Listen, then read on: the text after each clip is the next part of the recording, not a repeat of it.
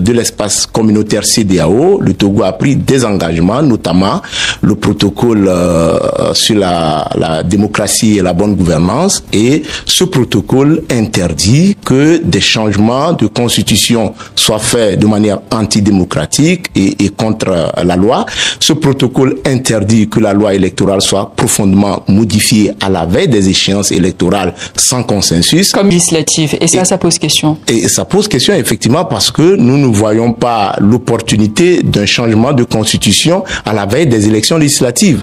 Euh, la législature. Qui se cacherait derrière alors selon vous? Ben, ben, Pour nous, et, et, et, tout, tout est su que le président de la République a eu une expérience très redoutable en 2020 et donc euh, M. Fornyasingbe redoute le suffrage universel. Et M. Fornyasingbe, il est clair qu'il veut asseoir un pouvoir à vie. Eh bien, chers frères, je sais, c'est ça. Hein. Les décisions de la CDAO comptent toujours pour le Togo, parce que le Togo fait partie toujours hein, de la CDAO, au contrairement au Niger, au Burkina Faso et au Mali.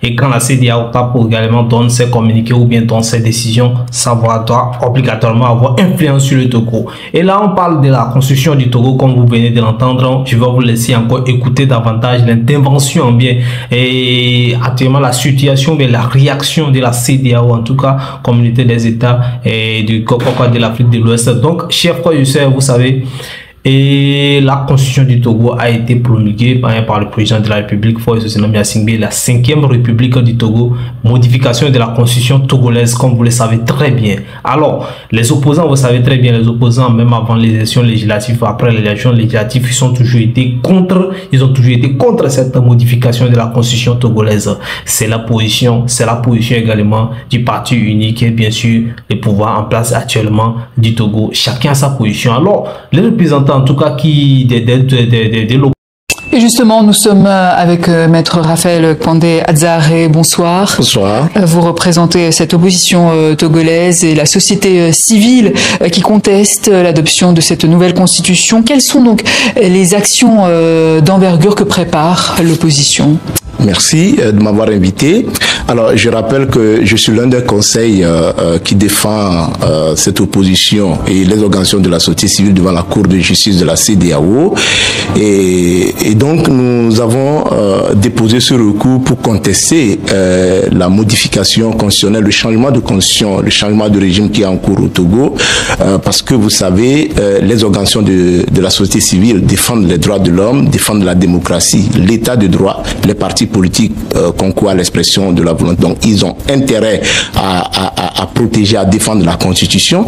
Et pour nous, le Togo euh, fait partie euh, de l'espace communautaire CDAO. Le Togo a pris des engagements, notamment le protocole euh, sur la, la, démocratie et la bonne gouvernance. Et ce protocole interdit que des changements de constitution soient faits de manière antidémocratique et, et contre la loi. Ce protocole interdit que la loi électorale soit profondément modifié à la veille des échéances électorales sans consensus. Comme ici, par exemple, le 29 avril, les législatives. Et ça, ça pose question. Et ça pose question, effectivement, parce que nous ne voyons pas l'opportunité d'un changement de constitution à la veille des élections législatives. Euh, la législature. Qui se cacherait derrière, alors, selon vous? Ben, ben, Pour nous, et, tout, tout est su que le président de la République a eu une expérience très redoutable en 2020 et donc euh, M. Fornyasingbe redoute le suffrage universel.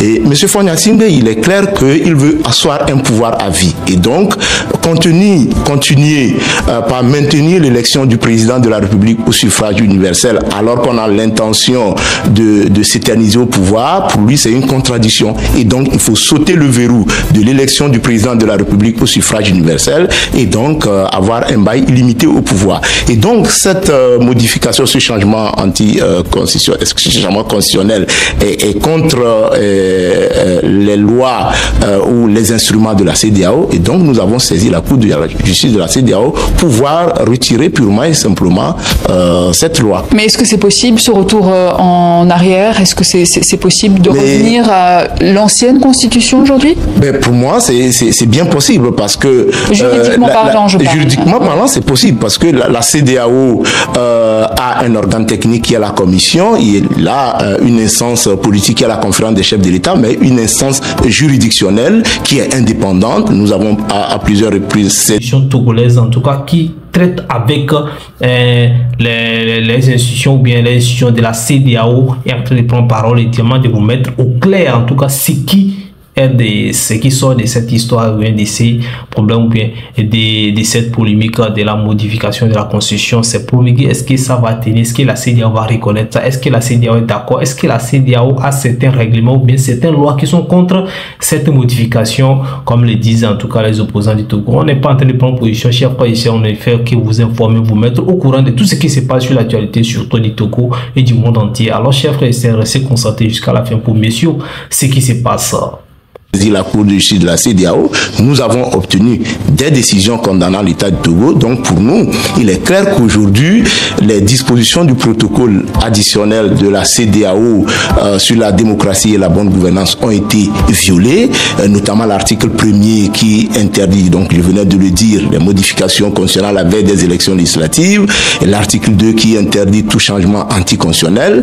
Et donc nous savons, nous, sommes confiants que la CDAO va euh, annuler, demander à l'État du Togo de retirer ce, euh, test. Parce que euh, vous savez aujourd'hui que ce test ne fait pas de l'unanimité, même au sein des députés à l'Assemblée nationale. Il y a un, député, notamment le NET, qui a déposé un recours devant la Cour constitutionnelle, donc qui a dit clairement que cette loi est inopportune et non nécessaire, et puis ben, il va falloir qu'elle soit retirée parce qu'elle est impopulaire. Mais quand on voit la CDAO qui a été vivement vivement critiqué euh, ces derniers mois en Afrique de l'Ouest, par exemple. Euh, est-ce que euh, une CDAO qui, qui défend les, puissants, pas forcément le peuple, est-ce que vous y croyez encore à cette, Nous y croyons. C'est vrai que la CDAO, au niveau de, de, son instance politique, la conférence des chefs d'État, tarde à, à, prendre position, mais nous l'en exhortons parce que nous avons vu la CDAO intervenir au Sénégal. en l'espace d'une semaine, la CDAO a sorti deux communiqué pour euh, demander à Macky Sall d'organiser les élections euh, dans le délai prévu par la Constitution. Au Togo, les élections devaient avoir lieu, les élections législatives devaient avoir lieu en décembre, euh, au plus tard en novembre 2023. Elles n'ont pas eu lieu. elles ont été reportées plusieurs fois. On n'a pas entendu la CDAO réagir. Maintenant que le problème se pose au niveau du changement constitutionnel, eh bien, je crois que la CDAO doit réagir fermement parce que nous rappelons et la société civile a tenu à rappeler à la mission qui était sur place à, Lomé, au Togo, à, rappeler à la CDAO qu'elle est redevable au Togo. Parce que et elle, a, rencontré toutes les parties. C'est ça, à Lomé. effectivement. Euh, quelle était la teneur des, euh, échanges? la, teneur des échanges, effectivement, mais euh, la CDAO, nous avons vu quand même qu'elle a changé de fusil d'épaule entre le 15 et le 16 avril, mais n'empêche quand même que les protagonistes ou les acteurs de la société civile des partis politiques ont tenu à lui rappeler que la CDAO ne peut pas venir au, Togo en, feignant d'oublier la crise qui est née du changement constitutionnel à la veille des élections législatives. Et je disais que la CDAO est redevable au peuple togolais lorsqu'on se rappelle ce qui s'est passé en 2005 parce que M. Fonya Singbe est venu au pouvoir avec plus de 500 morts. je ne le dis pas, c'est un rapport de l'ONU qui le dit. M. Fonya Singbe euh, est au pouvoir en tant que civil, mais il y a une armée derrière qui euh, euh fait intrusion dans le jeu politique. Cette armée, excuse-moi, a quelquefois la gâchette facile, n'a pas manqué de tirer sur les populations lors des manifestations et de réprimer. Et donc le contexte est tendu. Et la CDAO, euh, qui a un protocole additionnel, qui est pris en application euh, des mécanismes de prévention, de gestion, de règlement des conflits, doit savoir que, eh bien, eh si eh, rien n'est fait, eh bien, je crois que c'est une instabilité qui s'annonce au Togo. Maître, est-ce que un régime parlementaire, pour en revenir au régime parlementaire euh, qui est actuellement euh, en vigueur au Togo, permettrait pas un meilleur équilibre euh, des pouvoirs? C'est ce que dit le pouvoir. Je, crois quand même que c'est une fuite en avant, c'est un faux fuyant, parce que je rappelle que le régime présidentiel tel qu'adopté par référendum en, en, 90 n'a jamais été appliqué dans son essence. Et donc aujourd'hui, ce changement est, est, est, est clairement inopportun important parce que ce n'est pas le régime parlementaire qui va lutter contre la corruption. Ce n'est pas le régime parlementaire qui va créer les infrastructures routières, les centres de santé, le les problème est ailleurs. Pour... le problème est ailleurs. Et donc, il est clair aujourd'hui que, comme je le disais, il y a une intention qui se cache derrière. On dit que le régime parlementaire, il y aura un président de la République, un président du Conseil, mais en réalité, ben, c'est clair que les pouvoirs seront entre les mains du président euh, du Conseil, mais qui ne sera autre que euh, Fornia Simbe. L'avenir nous, le, nous le dira en tout cas, Maître Raphaël Condé Adzaré, merci. Je rappelle que vous êtes avocat. Moi, j'étais candidat dans le tissu. D'abord, pendant la campagne, en pleine campagne dans un village, on me, le C2 court vers moi pour dire, mais c'est alarmant que c'est le commandant de la Foselle qui est au téléphone. Mais j'ai dit, c'est quoi? Que, mais, On dit que vous êtes infiltré. Que nous sommes infiltrés par qui que, mais, Tu connais la période, mais dites que nous avons donné la liste de tous les membres de votre délégation, tous leurs contacts. mais, mais je protège, mais personne ne m'écoute. Et à partir de là, on me fait suivre avec trois jeeps. Une Ah, jeep, de, une jeep de gendarmes, une jeep de policiers, une jeep de militaires encagoulés. Mais quand je veux faire un meeting, ça dissuade la population. Mais, mais, on a eu le courage de. Notre directeur de campagne, qui était un professeur de sciences nat au lycée, mais a eu le courage de dire au CB, mais votre sécurité, là, c'est de l'insécurité. Donc on a dû protester comme ça. Et les jours qui ont suivi, on a changé de programme. Donc ils nous cherchent partout, ils ne nous trouvent pas. Ils se sont fatigués. Même carburant, carburant. J'ai bon de cap. J'ai bon de Je me présente dans la situation 4 pour acheter. Station. Station d'essence 4. Pour acheter carburant, on me dit que c'est fini. Je suis là-bas, quelqu'un du Nil qui est candidat vient, on lui sert. Je demande au, mais je demande au gérant, qu'est-ce que vous faites? Il dit que mon frère, je suis sous pression. Quand on vient de m'appeler, on dit que c'est un colonel. Ça, c'est ce qu'on a vécu au nord. Par rapport aux militants, aux gens qui ont été expulsés. Mais dans le, dans le village, le canton de Kountoiré, Kountoiré centre, un centre qui compose 6 bureaux de vote, on a chassé tous nos délégués. On dit qu'ils n'ont pas droit à accès à la chambre. Mais moi seul, j'ai fait comment? Le temps de courir ici, ils ont déjà fait le forfait.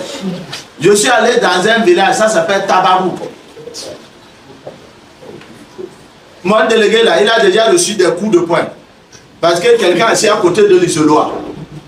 Et il dit aux femmes ce qu'ils doivent voter. Le délégué proteste, on ne dit rien. Je viens, moi-même. J'ai dit au président du bureau de vote sortir, le gars il dit qu'on ne va pas le sortir.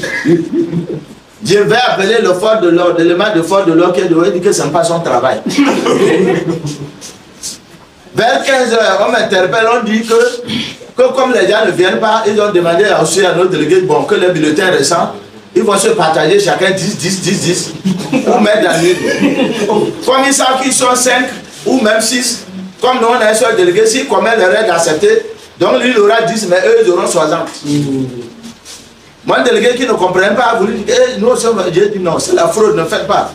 J'appelle le président de la CELI, je lui dis, mais, monsieur le président, voilà ce qu'on veut faire dans son village. Il me dit, ils sont fous. Mais, au moment, réagit maintenant, il dit que non, que c'est le secrétaire général, c'est lui qui s'occupe de là-bas, il faut l'appeler, il me donne son numéro. Je l'appelle, il dit que je vais intervenir. J'ai appelé le vice-président, j'ai appelé le président de la CELI, ils n'ont pas changé la situation devant nos délégués en complicité avec les forces de l'ordre, les gens bourré les urnes. C'est ça qui est la vérité. Moi-même, vous me connaissez ma fougue, non? J'ai dit de sortir quelqu'un du bureau de on ne l'a pas sorti. Moi seul. Et on dit, quand tu es délégué, tu es teigneux, on dit que non, tu es contre leur village. Parce que s'il n'y a pas beaucoup de... Ils ne votent pas beaucoup pour unir dans leur village, le village ne sera pas développé. Tout ça, on est en train de préparer les rapports. Moi, j'ai déjà un rapport où je peux vous donner des détails. Dans un village, quand on est arrivé le soir, on veut dépouiller, non, le village s'appelle Santi. Non, le, on dit quoi? On va dépouiller quoi? Okay, mais Mettez ça pour ça. Dans un autre village, ça s'appelle Kanglou, on a renversé ça comme ça. On a enlevé tout ce qui est, qui est opposition. On a ajouté, on a mis ça pour ça et demi. Ce qu'on dit là, ce n'est pas de, de Voilà, président. Ce que je vais ajouter, le dernier point que.